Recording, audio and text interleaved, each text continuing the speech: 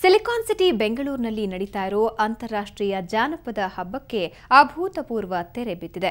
ಮೂರು ದಿನಗಳ ಕಾಲ ನಡೆದ ಈ ಕಾರ್ಯಕ್ರಮಕ್ಕೆ ಗಾರ್ಡನ್ ಸಿಟಿ ಬೆಂಗಳೂರಿಗರು ಹೆಚ್ಚಿನ ಸಂಖ್ಯೆಯಲ್ಲಿ ಭಾಗವಹಿಸಿದರು. ಈ ಕಲರ್ಫುಲ್ ಹಬ್ಬದ ವಿಶೇಷ ವರದಿ ಇಲ್ಲಿದೆ ನೋಡಿ.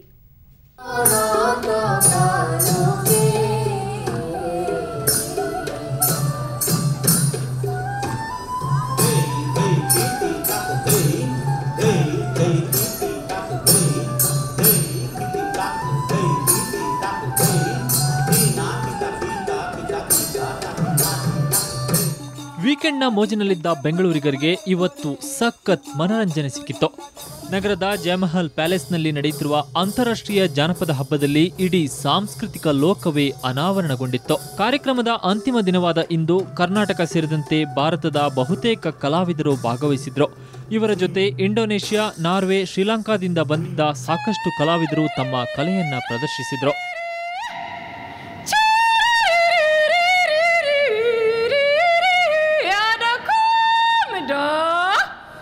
ಬೀಸುವ ಪದ ಕುಟ್ಟೋ ಹಾಡು ಬುಟ್ಟಿ ಚಿತ್ತಾರ, ಹಸೆ ಚಿತ್ತಾರ ಜನರನ್ನು ತಮ್ಮತ್ತ ಆಕರ್ಷಿಸಿತು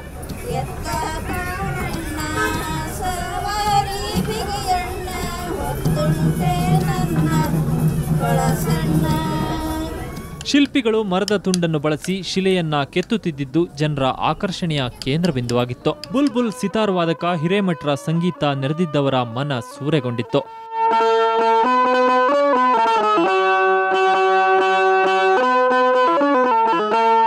ನಮ್ಮ ಪಕ್ಕದಲ್ಲಿ ಹಾರ್ಮೋನಿಯಂ ಮಾಸ್ಟರ್ ಇದ್ದರು ಅವ್ರು ಸ್ವಲ್ಪ ಬೇಸಿಕಲಿ ಹೇಳ್ಕೊಟ್ಟಿದ್ರು ನಮಗೆ.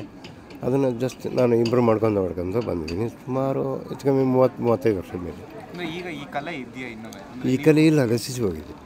ಅದನ್ನು ಉಳಿಸೋದಕ್ಕಾಗಿ ನಾವು ಭಾಳ ಪ್ರಯತ್ನ ನಡೆಸ್ತಾ ಇದ್ದೀವಿ. ಬುಟ್ಟಿಯಲ್ಲಿ ಮತ್ತು ತಟ್ಟಿಯ ಮೇಲೆ ಬರೀತಾರೆ ಅದ್ರ ಬಿಟ್ಟು ಹೋಗಿದೆ ಈಗ. ಅದ್ರ ಬದಲು ಅದು ಉಳಿದಿದೆ. ಅದ್ರ ಬದಲಿಗೆ ಕಿಟಕಿಯ ಪರದೆಗಳು ಟೇಬಲ್ ಕ್ಲಾತ್ಗಳು ಆಮೇಲೆ ಬಟ್ಟೆಯ ಮೇಲೆ ಪೇಪರ್ ಕಾರ್ಡ್ ಮೇಲೆ ಕವರ್ಗಳ ಮೇಲೆ ಚಿತ್ರ ಬರೆಯಕ್ಕೆ ಶುರು ಮಾಡಿದ್ದಾರೆ. ಹಾಗೆ, ಆ ಮೂಲಕ ಕಲೆ ಉಳ್ಕೊಳ್ತಾ ಹೋಗುತ್ತೆ. ಇನ್ನು ಮಹಿಷಾಸುರನ ಕಥೆಯನ್ನು ಬೆಂಗಾಲಿಯ ಚಾವ್ ಡ್ಯಾನ್ಸ್ ಮೂಲಕ ಪ್ರದರ್ಶಿಸಿದ್ರು.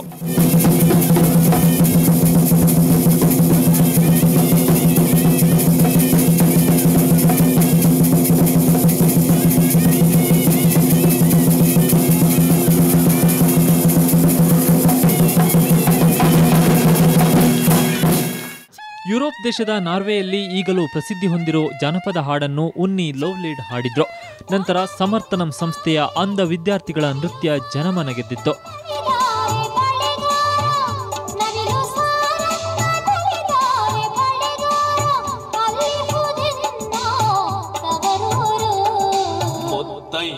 ಎಲೆ ಹೆಣ್ಣೆ ತೋರುವ ನಿಂತವರೂರ. ಮುತ್ತೈದೆ ಹೆಣ್ಣೆ ತೋರುವ ನಿಂತವರೂರ. ಕರ್ನಾಟಕದ ಕಂಸಾಳೆ ಜನರನ್ನು ರೋಮಾಂಚನಗೊಳಿಸಿತು.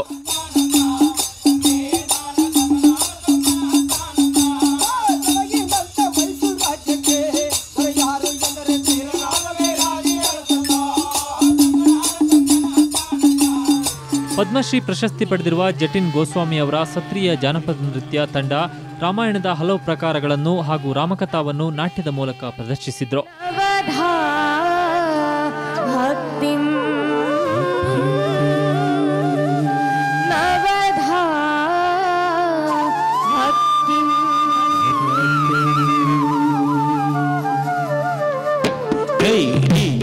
ಒಟ್ಟಾರೆ ಬೆಂಗಳೂರಿಗೆ ಅಂತಾರಾಷ್ಟ್ರೀಯ ಜಾನಪದ ಹಬ್ಬ ಮನರಂಜನೆ ಕೊಡುವುದಲ್ಲದೆ ದೇಶ ವಿದೇಶದ ಸಂಸ್ಕೃತಿಯನ್ನ ಅನಾವರಣಗೊಳಿಸಿತ್ತು.